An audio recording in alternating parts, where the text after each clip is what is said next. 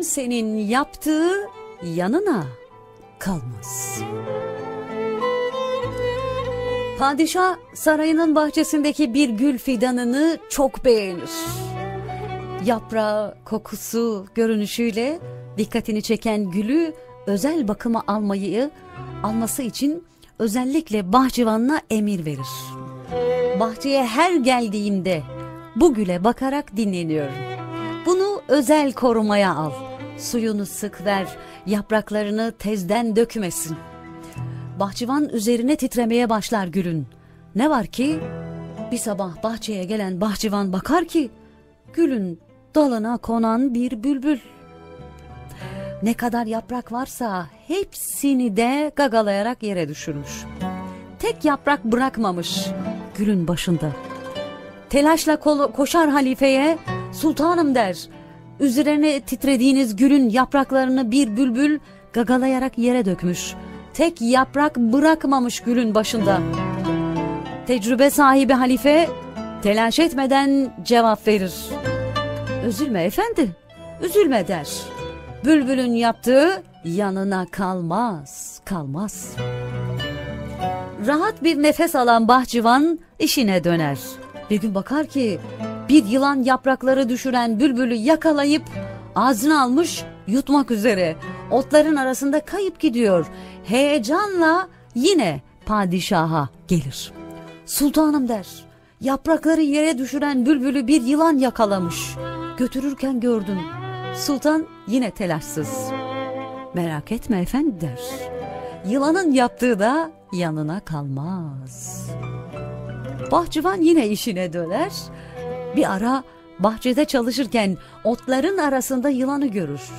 Hemen elindeki küreğiyle darbe üstüne darbe, darbe üstüne darbe indirerek yılanı orada öldürür. Sevinçle geldiği halifeye de durumu anlatır. Sultanım der, bülbülü yakalayan yılanı bende bahçede, otlar arasında yakalayıp küreğimle vurdum vurdum ve öldürdüm.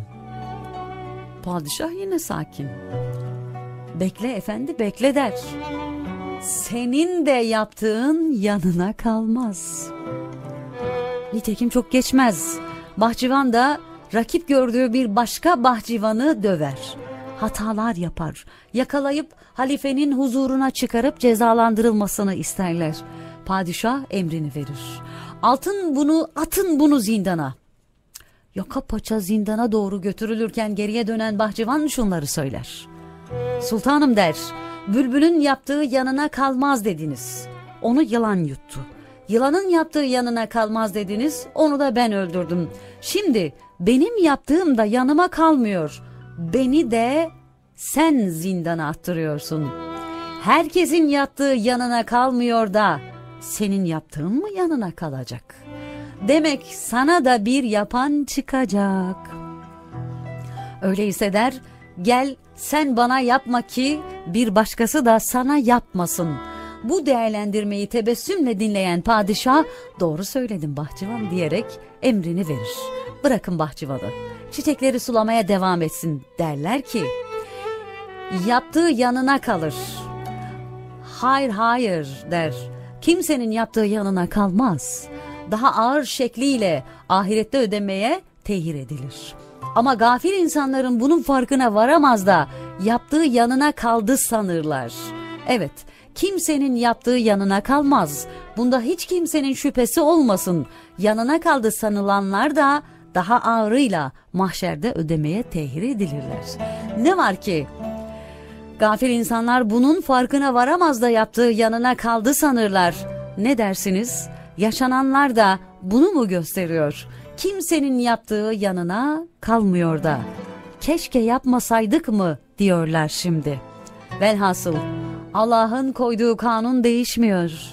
Kimsenin yaptığı yanına kalmıyor. İbret alın ey basiret sahipleri. İbret alalım aşk olalım.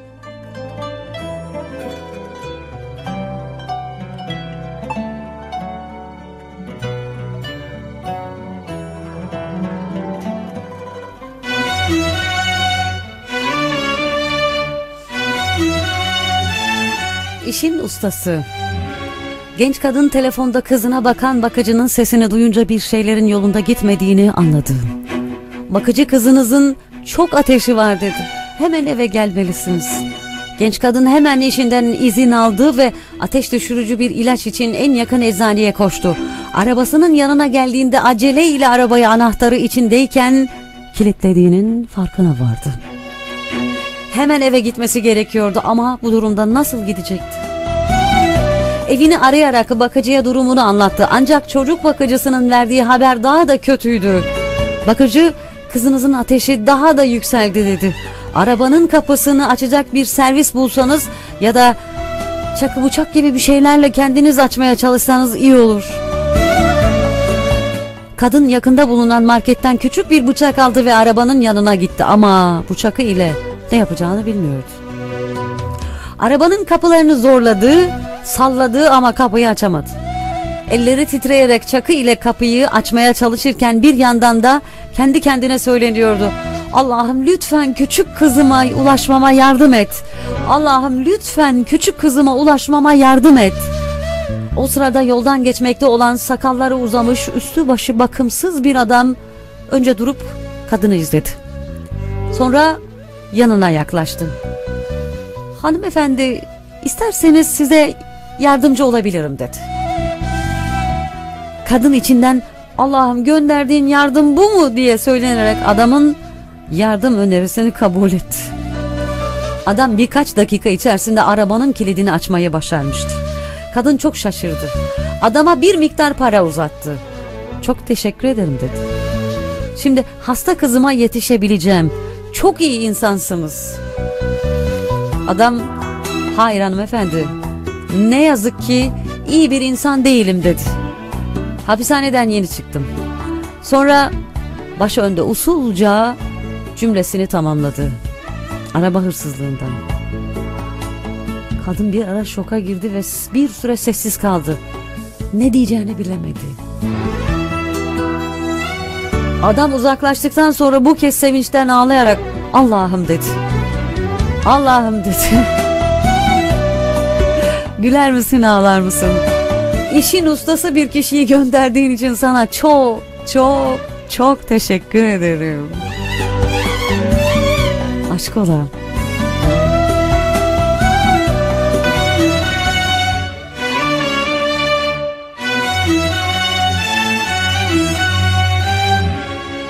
Vakti zamanında cahil biri bir üstadın kapısını tık tık çalmış ve ona efendim bana kitabı anlatır mısın demiş. Kitabı mı demiş üstad. Ben ömrümü kitabı okumaya adadım. Buna rağmen hala bildiklerim ancak bir hiçken sana nasıl olur da tüm kanunları ve bunların aralarındaki bağlantıları anlatabilirim ki? Ancak cahil adam ikna olmamış. Onun ısrarını gören üstad o zaman şimdi beni iyice dinle. Düşün ki bir eve bacadan iki kişi girdi. Birinin yüzü kapkara, diğerinin ise tertemiz. Bunların hangisi yüzünü yıkar? Bundan kolay ne var demiş adam. Ne var? Tabii ki kirli olan. Üstad gülmüş. Düşünsene kirli yüzlü olan adam diğerinin yüzüne bakacak ve temiz yüzü görecek. Böylece kendi yüzünün temiz olduğunu sanacak. Oysa ki temiz yüzlü adam öbürünün yüzündeki kiri görüp kendi yüzünü de kirli sanacak. Ve yüzünü yıkayacak. Adam bir süre düşünmüş. Düşünmüş. Sonunda kafasını sallamış. Size nasıl teşekkür ederim bilemiyorum efendim. Nasıl teşekkür ederim bilemiyorum. Sanırım sonunda kitabı anladım demiş. Ah ah daha çok uzun bir yolum var demiş üstad üzüntüyle. Ay bacadan sürünerek inen iki adamdan birinin yüzünün tertemiz, ötekinin ise kirli olabileceğine nasıl inanabiliyorsun ki? Nasıl inanabiliyorsun ki? Ah ah daha çok çok uzun bir yolun var demiş. Ve tebessümlü bir yüzle devam etmiş. Aşk olan.